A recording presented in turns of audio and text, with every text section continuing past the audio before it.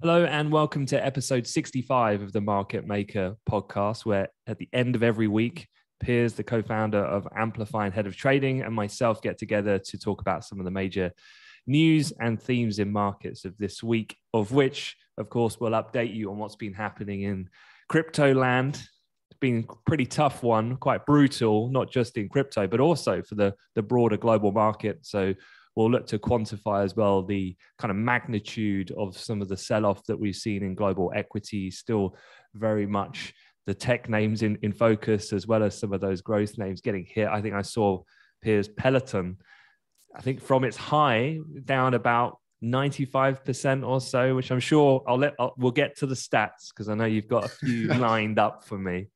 Um, but before before that, a couple of couple of shout outs as per usual, beginning of every episode. So thanks very much to, to Finn Panton, Eric Dye, and Thomas Taylor at Oxford University for for sorting out a really great event at the uni um, earlier this week. Eddie and I were there in person, which was nice to get away from the desk and, and out out of London for a change. Um, also, great to meet Alfie Charlton from my old high school. And yeah, I mean, 16, he must be 16 going 17 and just talking about what he wants to do in, in a very precise terms with his career, which from someone coming from my, my high school, that's a pretty um, exceptional thing because most people are too busy either playing football or, or just generally fooling around to be to be quite honest at that age. Or certainly maybe i'm just speaking about myself but um, no, yeah. I think you're speaking the vast majority of 16 year olds but yeah great to great to meet him in person. And then final shout out to Aziz Adarento, who is dominating our referral program mm. for our daily newsletter, The Market Maker. He's got some. He's now. He's got. He's got his one-to-one CV review. He's got his access to his online masterclass industry speaker series. He's got his mug. He's got his t-shirt. He's got his bottle. He's got he's got more Amplify merch than I have. I'm not sure that's that's right. But yeah, just yeah, for Aziz, I just wanted to say, yeah, huge thank you for for sharing sharing the love. Super appreciate that. So how how did you um, get an Amplify hoodie then?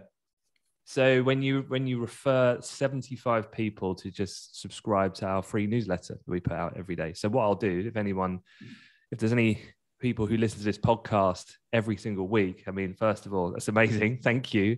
And uh, and Alfie even said, Piers, your episode about Porsche when you explained about the IPO. Oh, yeah. used that in a conversation. Actually, he's got some work experience over the summer based on a lot of the stuff that you were going over at that time. So excellent. Love it. Yes. So, but yeah, if I'll drop a link in the show notes for this episode, um, and yeah, if you're not part of the daily newsletter, you can sign up for that. Hopefully, it's super useful. It's aimed at just helping just on the career side as well as your commercial awareness about global markets, not just global markets, but um, M&A, IBD, these types of things as well. So hopefully, it's all geared to to making it super um, useful for students to shortcut a lot of time because I do know that you're all in the middle of exams at the moment. So um, yeah, I feel your pain, but it'll all be over soon. Um, but yeah, let's get let's get straight to it then. Let's talk about before we get into the crypto um, specifics, just a broader market movements that we've seen. Um, I know there's there's been some pretty seismic moves continuing on from where we were at the end of last week. So where are we at at the moment? Yeah, I mean, for sure the uh, well the, the risk off continues, right? So risk off, that general kind of term that we use when you're getting riskier assets selling off broadly. I mean, what's interesting about, I guess, the sell off this year is, I mean, I'm not sure, actually, it's not really being called a risk off, is it? And actually, there's probably a good reason for that. And that's because actually, even stuff like bonds are selling off, which is supposed to be the safe stuff that people rotate into. Normally, when we have risk off, you get uh, a kind of inverse correlation between stocks and bonds. So people sell stocks, that's the riskier asset. And with that money, they they then buy bonds. And so you tend to get um, that inverse direction. But yeah, you, you, get you're getting everything coming off. So I guess it's not particularly risk off. It's just very, yeah, it's it's stagflation. And uh, we've been using the word a lot for, for weeks, and um, it's it's it's coming right. And that's so. Just as a reminder, this is the you know, the high inflation, slowing growth, and rising interest rates. And that combination is continuing to lead markets to the downside. So further extensions um, lower across the space. I mean, now just thinking in broader terms across the whole year now, uh, the Nasdaq um, on its low. Uh, I mean, and I always, I guess I, I guess I point to the Nasdaq first, and and, perhaps the media do as well, just because that's the one that's sold off the most, right, in terms of the big indices. And so, when you're trying to frame a story that you're telling, you often you you know you go for the big kind of uh, the the biggest best example. And so the nasdaq is that in this context. The nasdaq's down 28% on the year now. So you know well into bear market territory. The s&p's better off um, in that it's down only 19% so the s&p um, we, we go in kind of 10% kind of in terms of terminology 10% down is a correction 20% down is from the recent high is a bear market. So the s&p is just it's avoided a bear market so far but um, it's inevitable i would say. The key thing about the s&p it broke the 4000 level uh, this week and obviously that's a, quite a big kind of psychological level um, so from a technical point of view, you're certainly seeing technicians say, right, you know, this isn't over and there's more downside and the S&P will go into bear market territory. And I guess what's driving the exaggerated move, let's say on the NASDAQ, I mean, you pointed to it, you know, there's those, I, I guess it's the, the way this has worked, right? It's the COVID stocks that went first. So that's, that's your pelotons it's your Zooms, it's your Robin Hoods, your I don't know, Coinbase, if you like, right? These are the COVID stocks. So Peloton, as you mentioned, is down well over 90% from its high. Zoom's down 85% from its high. I mean, we're on Zoom, right? Here's, here's the interesting thing about markets. We're on Zoom. We as a company use Zoom a huge amount. And pre-COVID, we didn't use it at all or hardly right? Now we use it a huge amount. And with, so we use it more than ever, yet their share price has dumped 85%. And so this is an interesting thing about val- value, right? And, and market behavior. You know, is, is Zoom as a business worth what its current market cap is, which is determined by the share price?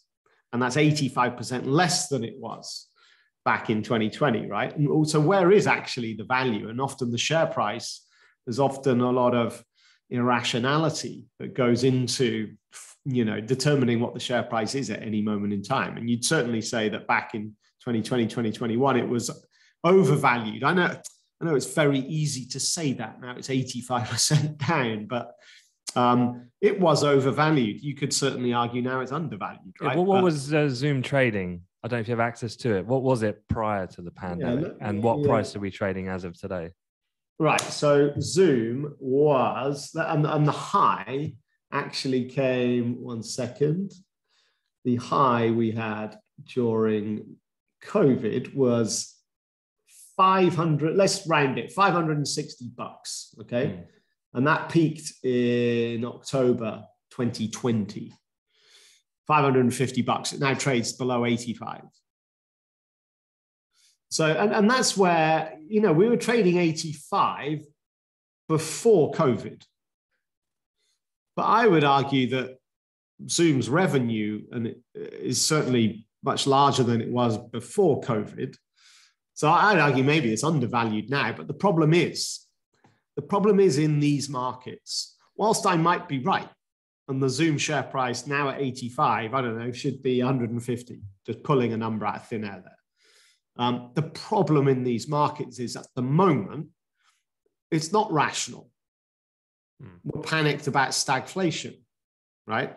And I guess we're not only panicked about stagflation, I guess people, I, I guess during COVID, investors were over exaggerating, over inflating the revenue growth that a company like Zoom might have.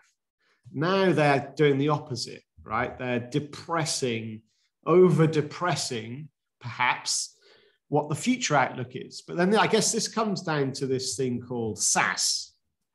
So SaaS is software as a service, and it's one of the, you know, prime time kind of investor things to pick up. And that's because it's so scalable. That's where a company is providing a, a service, software as a service. And it means that taking on new customers costs the business hardly anything, right? So you're for all the revenue pickup you get, it's almost all of it dropping down onto the bottom line profit.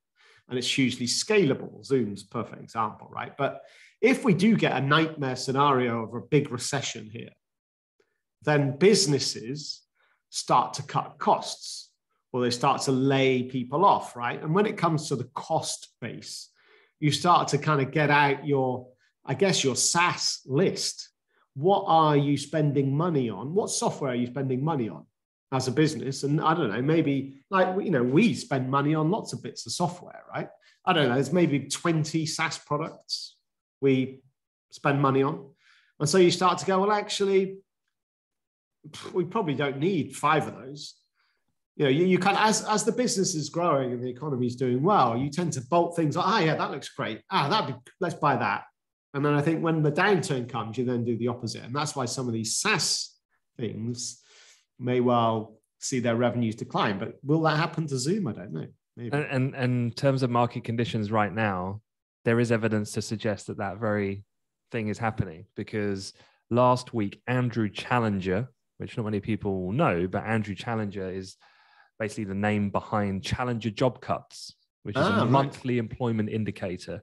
And if you actually look at job cuts in the US, they're going up actually because one of the pillars of a strong US economy has been well, the labor force has been pretty effective at this point. However, initial jobless claims went up for the uh, to the highest level since Feb 11th this week. Last week, the challenger number, basically the comments from this chap, he said the job cut plans appeared to be on the rise. And the reason, particularly as companies assess market conditions, inflationary risks, and capital spending. Right. Which is basically the summation of what you just described.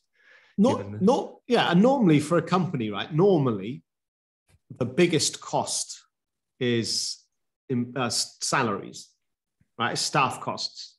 And but the problem is to cut your workforce takes time and is expensive. It's not a quick win from a cost point of view. You know, you've got to go through a whole legal exercise. There's, you know, redundancy payments and packages, right? But if you take SaaS, I mean, you literally can switch it off. I mean, you might be in a month by month rolling contract, right? But with a SaaS product, you, you can switch it off, but it depends on how integrated that product has become in the day-to-day functioning of your business. There's no way we could turn off Zoom.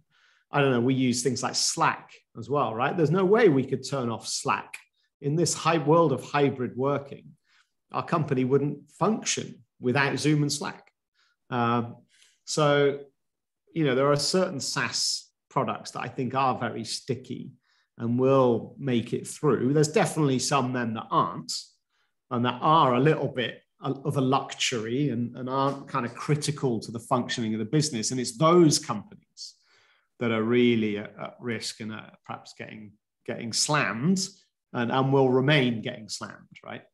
So, so listening to you over the last few uh, podcast episodes, talking about recurring software revenues, talking about cloud technology. You talking up my Microsoft book again? I mean, please continue. It's fine if you want to do that.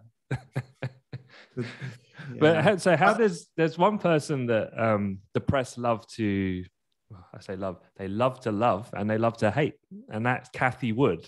Yeah. And so my question to you is so for those who don't know, Cathie Wood is the, the kind of the, the brains behind ARK Innovation. And they focus on investing in disruptive technologies. These would include things like AI, DNA sequencing, uh, gene editing, robotics, EV, energy storage, these types of things. Now, she was like the hero of the pandemic. Yeah. Obviously, she's feeling some great pain right now. How does someone like, how does a fund like that uh, quell concerns of their investors to the point where they remain invested on the belief of the longer term picture. Any thoughts on that? Uh, wow, very, very, very, very difficult because fine, she was the darling of the COVID crisis, but I'm just I just went onto their website now, ark-funds.com, Right front and center homepage, year-to-date return, minus 50%. Um, assets under management, one day. Oh, hang on, it doesn't say assets under management. Um, but look, minus 50%. That, that's year to date. If you, if you go back a little bit further, it's it's well over 50% down. I think I'm actually not sure. It depends. She's got different funds as well yeah. within her overall kind of ARK vehicle. There's, and some of the funds, yeah, are packed full of the pelotons and are down 70, 80%, right? And I, and I guess there's two ways, if you're an investor in that fund, there's two ways of operating. One's very emotional, and that is, well, I can't, I mean, I can't get out now because I've lost, you know, I'm not, I'm not gonna, I'm not gonna take that loss. I, it's down so much that actually I might as well just leave it there. That, that's the and this is something called prospect theory. When your losses become so huge, you kind of just disassociate yourself. You almost like disown it and go, wow, you know, uh, well, well, that's now a long-term trade, then, isn't it? Right? Because you don't want to pull the money out and take the loss. Um, and I think most people will probably operate under that. Uh, it's gone down so much that I think people will operate mostly under that pretense. Um, the other way is to just cut it, right? And but but cut it well before it kind of craters to the levels you're seeing now. I, I guess you know if you're invested in Peloton, you know should you uh, and you were kind of in it from the beginning and you rode it to the highs and now you're still in it, well, then, yeah, I think that's bad investing because you've been a victim of your emotions rather than rationally understanding the macro climate and how it impacts individual companies. But yeah, there's a lot of emotion that goes into this. But yeah, it's, it's an incredibly difficult one for Cathie Wood. Um, I guess she's got a it's about the long term right some of these companies will survive and become the giants of the decades to come right it's just a lot of them will die and that's the difficulty it's can you cherry pick the ones that will make it through and, and if you can then happy days but there's huge huge risk um, and actually just on the broad sell-off there's some quite interesting stats just um, comparing it to the financial crisis. So in 2008 and 2009. Um, so uh, since November 2021, which is basically when we hit, hit the top for markets, this whole sell off um, has actually now destroyed $35 trillion of wealth globally, that is, right? That's just through asset values dropping the global wealth has dropped 35 trillion, um, which is 14% of global wealth. Okay. In the, in the great financial crisis, top to bottom, only 9% of global wealth was wiped out. Um, so, so actually, this, this and, and, I, and I guess the difference is that this sell off we've had in the last six months, everything's sold off like including bond markets. Whereas back in 2009, it wasn't everything selling off. I mean, bonds and were, were, were certainly going through the roof, right? But but also the sell-off was a little bit more selective. You know, it was banks, bank stocks. You know, it was a financial crisis. It was mortgage-backed securities were getting killed. Some credit markets were getting killed. Fine, but and all right, there was a broader market sell off as well, but that broader sell off wasn't as big. So um, this sell off's much broader based. But but look, I'm not pretending that the world should be crying about this because uh, when stock markets sell off, it's the rich that lose their money, right? To start with, who owns these stocks? Well, it's the rich. But the problem is, if we get a recession, well, the problem is we have inflation that's super high, and that's overly impacting the poor at the same time. And then you're probably going to see a recession with businesses laying people off, cutting costs. And so, you know, in the end, this all kind of winds up to, to be the perfect storm. I did did see an, an S&P stat as well to finish on, on the numbers. Yeah. Um, this was about two days ago, so obviously things have, have changed a little. But the S and P 500 has returned 10% annualized since 1928, with an average intra-year drawdown of 16.3%. And at the moment, this year, it's about 17%. An average intra-year drawdown of 16%. Yeah. Wow. Yeah. So on average, during the year, it drops 16% at some point, albeit on average, net gaining 10% across the year. Yeah, I mean, there's there's a yeah, there's a couple of um I'll, I'll, send you the graphic. I tweeted the graphic and I shared it on LinkedIn earlier this week, but yeah, it makes more sense when you see the numbers. But it, yeah, what, yeah. One of the, what the point that they were making was there's no there's no upside without downside, no reward without risk. Uh, well, absolutely. And I guess that's where people, I think actually a lot of people in this sell off are discovering that for the first time. Because I think you've had, obviously, with the, the Robin Hood revolution, you know, you've seen, I say the rich are owning these assets, but I, for the, I think for the first time in history, or not the first, well, yeah, maybe you've got a much broader base of people that are owning these types of assets. And I include crypto in this, right? So you're, you're getting, uh, let's just say you've got a, a people lower down the income bracket and the wealth bracket are now accessing and owning these types of assets. And they and they were riding the wave. And of course now that wave's crashed. And so they're probably for the first time a lot of people for the first time are experiencing this. And it's a really really difficult really difficult place to be in when you're you just that sense of you're just you have no control over what's happening to you. And it's super painful. And this is where you got to just be super disciplined. I mean maybe it's too late for some but you know you shouldn't be investing more money than you can afford to lose right? I know it's easy to say that and perhaps easy to say that now but yeah you just got to be super careful with this stuff. Yeah and i did see um, a report out of glassnode who do some like data metrics in crypto this can lead us into some of the crypto discussion. And yeah. they were talking about Bitcoin. I mean, again, this was earlier in the week when Bitcoin was off nearly 55% from its November peak. 40% of its holders are now underwater on their investments. Um, during that, the sell off over the last week, over 3.15 billion in value moved off of exchanges in terms of a US dollar amount. And that's the largest amount since the market hit its all time high in November of 2021.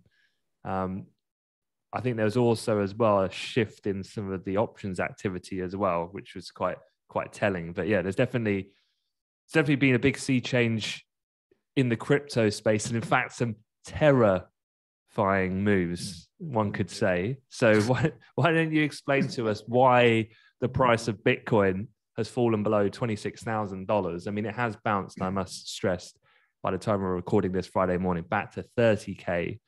Um, but it did hit its lowest level in 16 months. Ether also had dropped below 2000. What, yeah. What's created this? I know that that's been caught up in this risk off mood, but there's also yeah. been some more technicality to it. Right. So for sure, you know, Bitcoin, remember, like, was it last year or the year before, or maybe it was even the year before that now?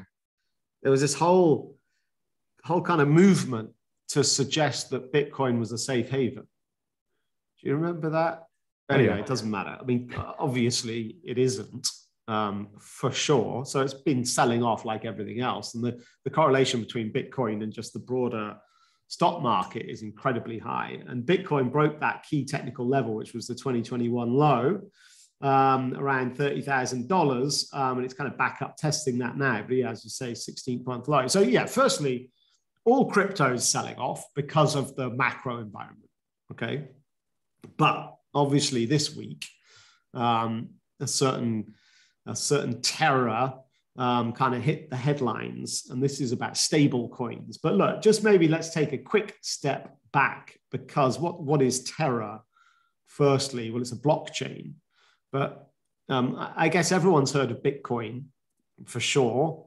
Um, and that was kind of the first, right? So Bitcoin is the coin, is the crypto coin that's used for blockchain. Um, then you had Ethereum. So I'd say these days, probably most people have heard of Ethereum now. So Ethereum is is a is a is a kind of another blockchain, right? And Ether is the kind of crypto. And so they're the two giants in the crypto space, okay? Bitcoin and, and Ethereum. Then you've got these, what, what are probably called third generation blockchains that are all being developed to try and um, overcome some of the issues that we have with Bitcoin and Ethereum. Um, so, a simple example is energy efficiency, right? So, trying to create a blockchain that's energy efficient. Anyway, uh, of these third generation blockchains, um, there's Solana, there's Cosmos, Cardano, and Terra, right? Are probably the big four. So, these are like the next generation blockchains, okay?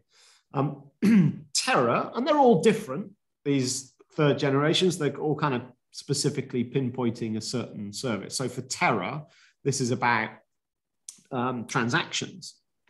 It's about, I guess you could say, it, they're, they're trying to win the market share of Stripe and PayPal, right? Um, and they're trying to do this. Um, basically, um, it's a financial settlement network on a customer basis. So this is like B2C. Like when you're using, I don't know if anybody, like, you know, if you handle, if you process payments, um, you know, like we do, like most companies do, right? You use, you know, we use Stripe, we use Shopify. And what typically happens is that they charge you a fee, right, for a transaction. So they charge 3%. So Stripe, for example, charges 3% for the pleasure of you receiving money from your customer. Okay. And then it normally takes at least a day, if not two, for Stripe to actually give you your money. So the customer basically pays Stripe. Stripe keep the money for a couple of days. Then Stripe give you, the company, the money, and they charge you a 3% fee. What Terra is trying to do is disrupt all of that by A, making the cost of the transaction way cheaper to, to the business. So instead of paying 3%, Terra charge 0.5%, let's say. Okay. And then also to make the transaction process much quicker. So instead of taking two days, you, the company, you might get the money in like one hour, or it might even be less. It could be minutes. I guess in the end, we'll get to seconds, right? So they're trying to disrupt this kind of payments um, system. So, so that's what Terra is as a blockchain, and that's the service it's trying to provide. Okay. Now then, so how does Terra work? Well, Terra, the blockchain, uses two tokens. So one is Terra UST, and the other one is Luna. So Terra is Earth, and Luna is Moon, right? And they're supposed to be these kind of equal and opposite counterbalancing forces because what Terra are saying to have a, uh, a functioning transaction payment system that a company is going to want to use, you need a stable currency. And this is the whole problem with cryptocurrencies. They're not stable. And for them to be a unit of transaction, they need to be stable right? So this is where stable coins come from. So Tether is the biggest. They're, these stable coins are trying to give the user all the benefits of blockchain without the risks of crypto coin volatility right so they're trying so terra's trying to genuinely offer you a payment system that is cheaper and faster but also has a stable unit of currency, right? So this, this system is used where basically you've got Terra UST, which is currencies, and they've created a few different Terras. So there's Terra USD, there's Terra CNY, there's Terra JPY, there's Terra GBP. right? There's a Terra for each of the big kind of global currencies, okay? And the idea is that this, the, all these currencies are pegged to the base currency. Let's take Terra USD, it's pegged to the dollar, right? But it's not pegged actually physically to the dollar. And this is where the difference is between Terra and something like Tether. Tether is actually pegged to the physical currency, the dollar. Terra isn't, it's what's called an algorithmic stable coin. And the way this works is Luna is the stabilizing equilibrium force for all these Terra UST coins. And the way it works is that if the value of Terra goes up, well, then they start, if there's demand for Terra, right, and people are buying Terra and it, and, the, and it goes up, well, then they're, they're burning Luna. Luna's the equal and opposite. And so you've got these two, I guess, let's put it maybe in slightly simpler terms. You've got two assets that are linked in value, okay? When one goes up, the other one goes down, and it seesaws, and right? And it creates these um, arbitrage opportunities because as long as you think Terra should be worth one, as soon as Terra is worth 0.999, we should buy it, right? Because it has to go back to one and you'll make a little profit. And when it goes back to one, or maybe this goes, sounds like a disaster in the waiting when it comes to this time arbitrage game. Well, this is how, but this is this is how it's all built for for algorithmic stable coins. This is how it's built. It's built on this sort of this idea, right?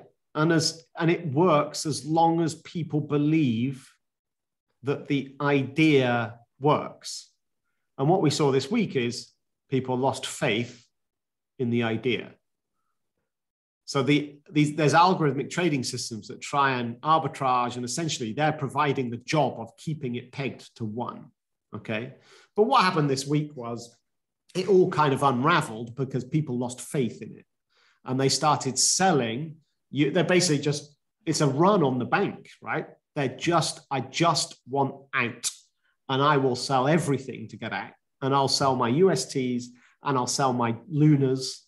So that the two the two counteracting forces that are supposed to stabilize this, people were selling both of them simultaneously in huge volumes. And so both went down.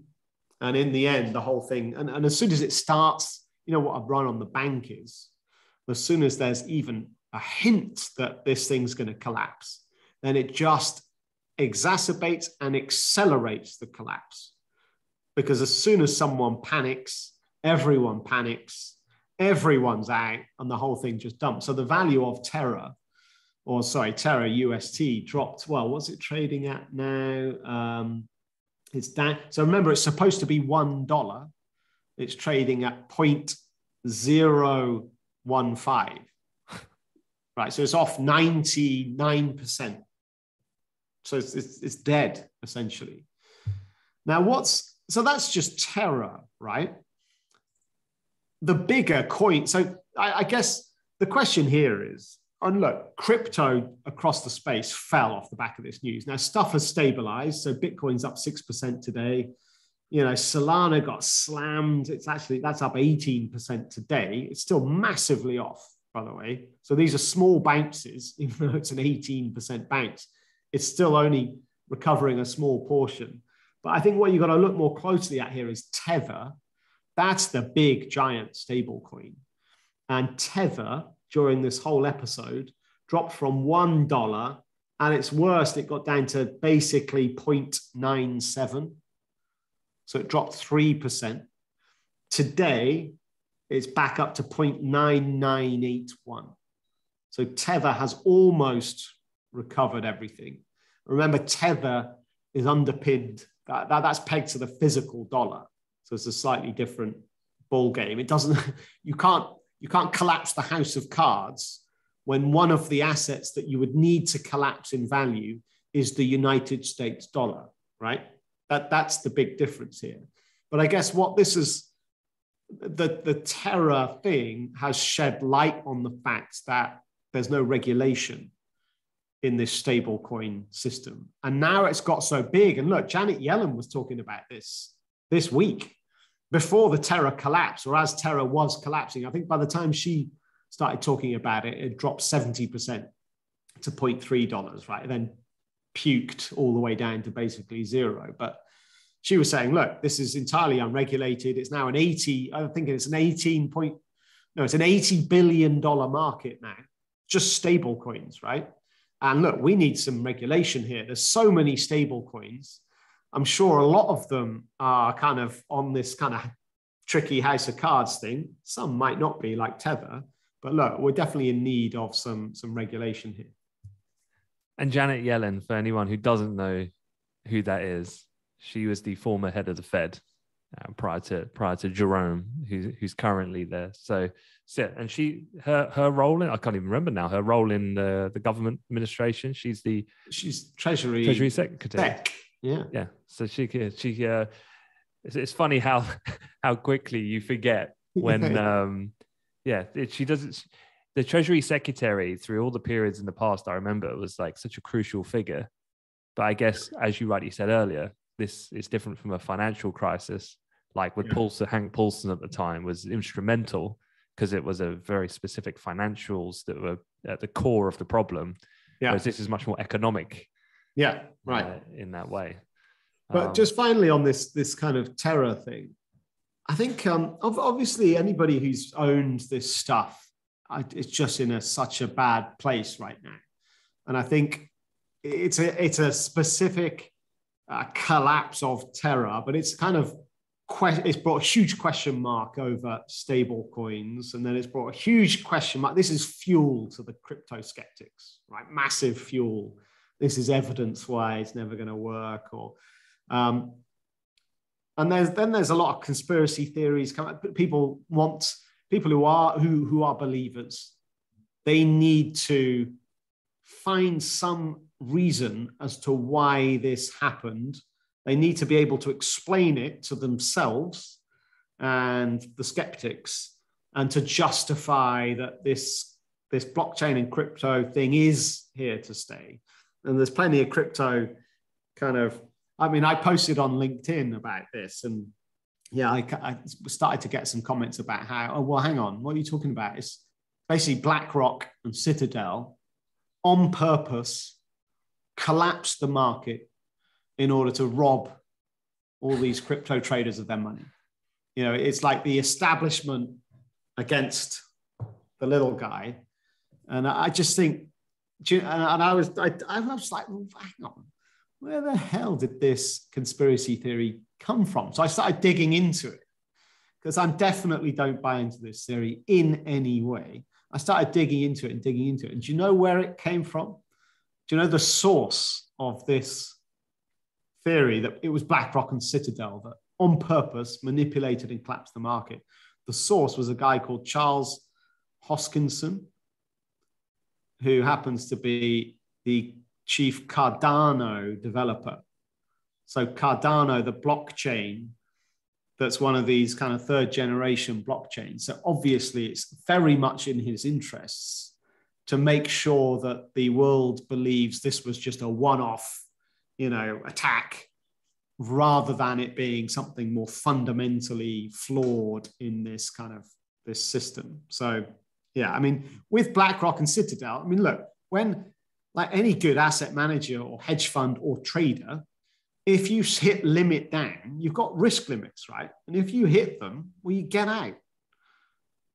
Simple as that. These big boys are selling because, hang on a minute, we've hit our stop loss. I'm out before I lose way more money. But of course, if you get the big boys selling, then obviously that just accelerates the, the, the drop, right? But they're selling because they were hitting their stop losses. They weren't manipulating and purposely collapsing the market is my is my opinion well you're going to make a lot of people upset with that you're not you're, yeah. not, you're not fighting for the little sorry. man sorry it's just that's my that's my opinion okay well well well talking about um collusion and market manipulation let's talk about cartels because Absolutely. i know i know your um your buddy Super Mario, yeah, uh, has been quite vocal. I think what was he meeting with President Joe Biden Yeah. The two, the two, as per all politicians, are having a bit of an inflationary issue right now. Yeah. And uh, tell me, tell me what Super Mario has come up with as a possible solution. Well, yeah. I mean, look, obviously there's a cost of living crisis, and that's driven by many factors, but certainly energy costs are probably top of a lot of people's lists. And the problem there is, from an economic point of view, that hits everyone, right? Everyone. It doesn't matter your income level, right? The whole spectrum. You all need to turn on the lights. You all need to heat your house or run your air conditioning or go somewhere in a car or a vehicle, right? So it hits everyone, and therefore um, obviously, it's incredibly negative from an economic point of view if your economy is driven by consumer consumption, right? Because if you're spending more money to heat your house, that's less money to spend on the high street. Okay. So you've got this cost of living crisis. So these politicians are under huge pressure because who do you blame? You know, if you're a person and an individual in this society or in this economy and your life has suddenly got a lot harder, who do you blame? Well, you, you blame the people who are running the show, right? And so the prime ministers and the presidents, um, the chancellors of this world are under huge pressure right now, and they're going to get slammed in the midterm elections because of it. And so they're trying to come, they're trying to come up with either excuses where they're blaming others. That's Joe Biden's tactic. You know, just blame Russia, blame the Saudis, blame the Chinese. Um, tap into your emergency oil reserves to try and sort it out. It's all failed, right? All efforts have failed. You know, the Saudis aren't listening, they're not increasing production faster. Um, so, anyway, they're coming up with uh, these kind of ideas. So, Draghi, who's the Italian prime minister, um, former ECB president, of course, for, former legend, maybe, um, as, as, yeah, now come up with this idea. In principle, I quite like it. I mean, in practice, it won't work. Um, but we've always lived with this idea of OPEC, and we call OPEC the oil cartel, right? And this is the group of you know group of major oil producing nations who together form an alliance and together make decisions on whether to increase or decrease production. And because they control so much of the global production, they basically control price. Okay. And they can dial it up and down at will right? So that's on the producer's side, okay? What Draghi's proposing here this week is actually why don't we have a buyer's cartel? Not a producer's. Why don't we sit on the other side? Why don't Europe and America, who are the big buyers, surely can't we club together and can't we, from the opposite direction, control price? The best example of this working is supermarkets. So supermarkets are the big buyers and they squeeze the farms and the producers on price. And basically, supermarkets are a buying cartel that kind of works, right? So th- this principle, I guess, on paper works. It's just that probably in practice, it probably won't. I guess it's the so what, what could happen? How do you operate as a buying cartel? Well, you go, well, right, um, Saudi, what your price of oil is at 100 and what five dollars. Um, we're not prepared to buy that at that price.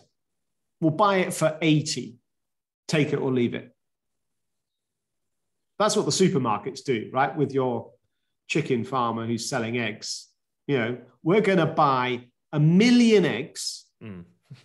and we're not going to pay whatever. I don't know how much an egg costs individually from a wholesaler, but let's just say we're not going to pay 10 pence we're going to buy a million and I'm only prepared to pay seven pence.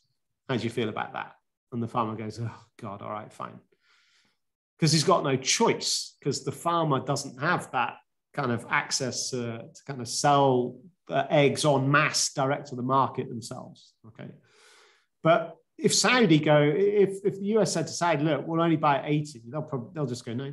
Yeah, but if I was Saudi, I'd go, oh, hang on, my other phone's going off. Oh, oh let me pick it up. Oh, hi, G. How's it going? Yeah, you say you want some more oil? Oh, yeah, sure. No problem. Right. I guess the point here is the product that is being bought and sold. The problem is the buyer is so dependent on it. Yeah. If they're so dependent on it that the sellers got all the, the ace cards. Like with eggs, all right, if Tesco go to the farmer, look, we'll buy a million eggs, we're only prepared to pay seven pence, and the farmer goes, no. Tesco will go, all right, fine. Our, our customers just won't be able to buy eggs for a bit. And then the farmer will basically go out of business until the farmer comes crawling back and go, all right, fine, seven pence. Great. Do the deal, eggs back on the shelf. But people aren't going to, you know, lose their lives for not having eggs, but they might if they haven't got oil, right? So here's, here's the problem with Draghi's proposal. Um, the buyers are too dependent on the product to have any real. Control. You know what I think this is? This is this is Draghi uh, being the intellectual in the room, coming up with engineering a, a slightly more complex way of addressing a key issue at the electorate. And yeah. if he gets the US on board, that gives him a good relationship appearance with the US and they club together. I think it's just, you know, he knows that this is flawed for the reasons discussed, but that's not what the objective of Draghi is. Yeah. He's a very clever man, and yeah. you're absolutely right. But, you know, I would say there's a, there is obviously a long-term shift away from fossil fuels to greener energy for sure. And I think this whole episode is accelerating that shift. But look, we're talking about multi-year, multi-decade shift here, and it's accelerating a little bit. But I think the way, the perhaps the way it is just reconcentrating the minds of politicians in charge is like energy dependency we never want to be energy dependent on a third party country ever again. Mm. You know, and certainly the US very much thinking those terms. Europe needs to, and that's why all the all of this green stuff initiative needs to it needs to be domestic, right? Basically, all these countries are now operate, operating off the premise that we need to be green and self sufficient, and that's the kind of direction of travel for the years to come. Cool. All right. Well, look, we'll, we'll wrap it there. Thanks as ever, Piers, for, for your thoughts and insights. And thanks everyone for, for listening. If you enjoyed the, the episode, please do leave us a rating, whether it's on Spotify or, or Apple, and share the podcast with a friend. It really does help. The more you do that, the more the algo shares it, the, and, and the better it is to spread the word. So I'd really appreciate that. Now, now you've said that, that yeah. reminds me of something earlier in the year. We didn't hit the target. we didn't. Uh, no. Disappointing. Yeah. Our, so, our, loyal listeners will know what I'm talking about. Anthony Cheung um, was going to shave his head mm. live on the podcast if we reached a certain target on the um, on the on the Spotify ratings. I think yeah. I think I said 250. It was rising rapidly, and uh, I took a bit of a a page out of the Elon Musk book and just went big with a big promise. And uh, obviously missed the target, just like Elon did with his yeah. um, with his. And talking of Elon, uh, and talking about car targets, you know the the rate of which their Shanghai, their main production facility, is operating of this week, 200 cars a day. Yeah, I, I did read this, and it's supposed the target. What is it? 2,600 should be by Monday. And obviously, that is just not going to happen because overnight they've even intensified the wording around the restrictions again. So they're at um, ten percent government. They're at ten percent of of capacity. But do you know what I do? You know what I do? It's such the way of which he operates.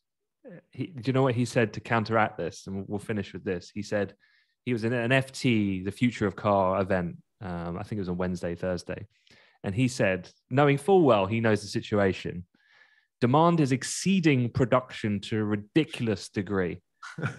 he hinted at a new idea and he, he about temporarily cutting off new orders.